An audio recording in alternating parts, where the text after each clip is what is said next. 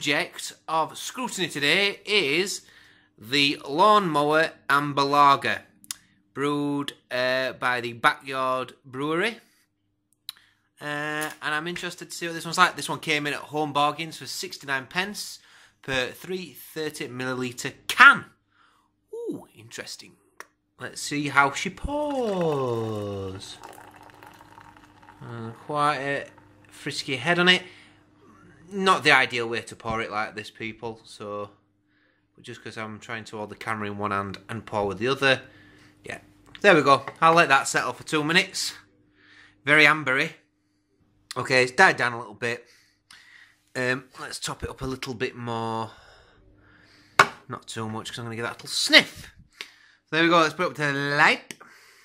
Okay, it's uh, it's obviously not naturally carbonated. It's been pumped full of CO2. The bubbles look quite big in there for me, and judging by the way the head smashed its way to the top of the glass, um, yeah, it's quite a dark ambery colour. Um, yeah, I'll give you a little smell. Nice picture of a cow while I give it a smell. Hmm. Very, very metallic -y. It smells like it's been brewed in a big, big brewery. In big, big um, tanks. It's got that sort of smell about it. It actually smells like a quite a commercial lager. Maybe like a, a Carling or something like that. Or not Carling, not as bad as that. It smells like a Stones or something. Something that's decent enough. Now,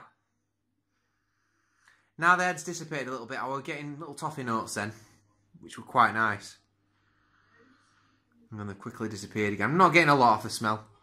It's quite fresh. It's quite slightly herbal. Um, got a crisp smell to it. Slight lemon zest maybe on the smell. Do, do, do, get a little bit more of a swish. And that's it. I am getting a bit of a maltiness on it. A little bit of a maltiness. So here we go. Give this one a try. I'm not blown away by the smell, I'm not going to lie to you.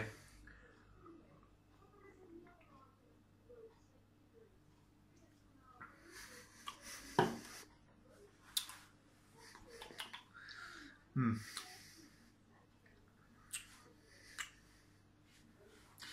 You're getting quite a sweet maltiness on it.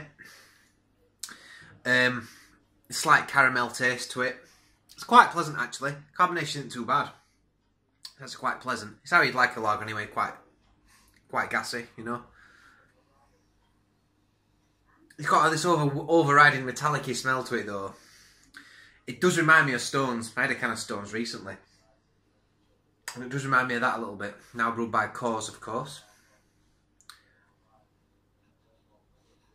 Yeah, you're getting slight grassy notes on it. Like I said, like slightly herbal, but on the taste,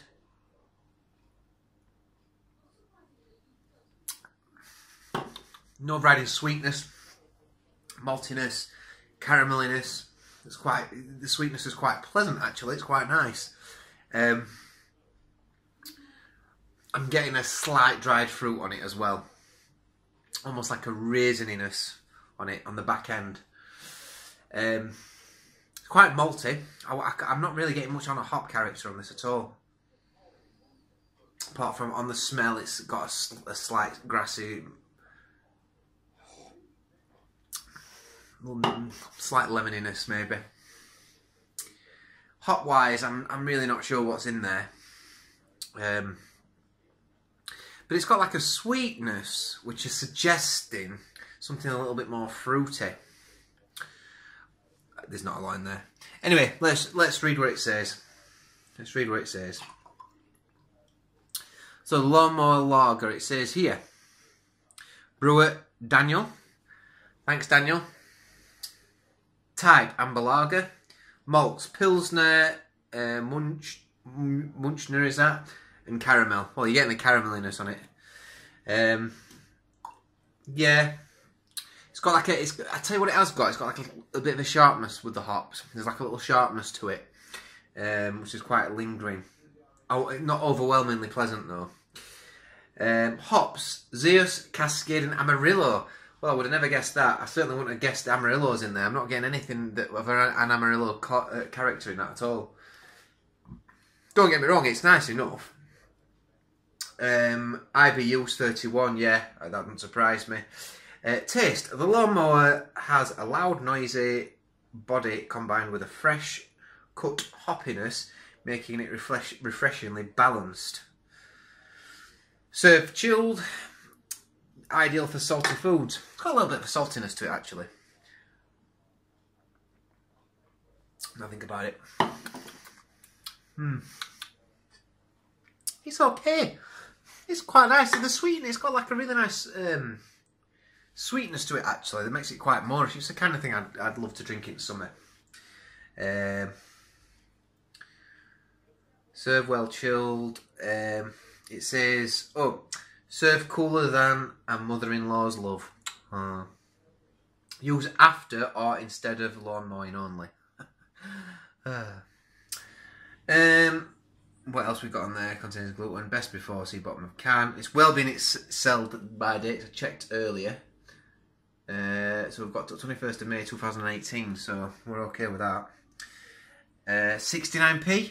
Mm, can't go wrong at 69p, I suppose. Uh,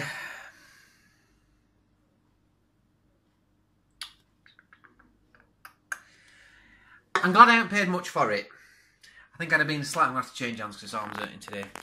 If I'd if I'd have paid more than 69p for it, um, I'd have been a bit like, hmm, it's okay.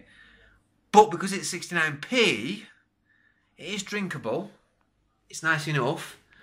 Um, I'm not going to quite give it a 7 out of 10. I'm going to give it, I'm going to give it, um,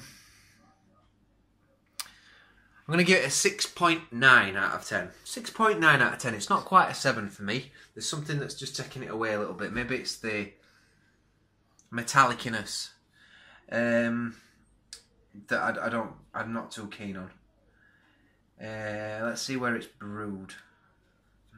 Don't tell us anything about where it's brewed. Oh, here we go.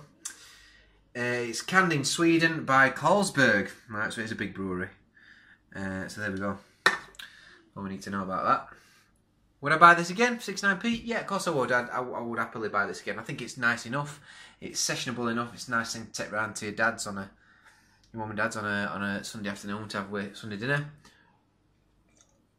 Or some salty food, as it says on the can. I think it's a nice, nice enough beer, but you know, it, it's got like a, it's got like a, a mass-produced taste to it as well. It's quite metallic. It's got a nice little caramel sweet note to it. There's some dried fruit for me going on. It's all it's more about the malts actually character than the hops. I'm not getting the Amarillo. I'm not getting really getting the Cascade either. Apart from on the smell, it's slightly lemony. So yeah, uh, lawnmower. Uh, yeah, 69p. Worth picking up. Treat yourself some. Put something back at fridge when your friends come. But don't worry if you miss out. Till next time, please leave your comments. I've been Swigging Steve, uh, and I'll see you next time.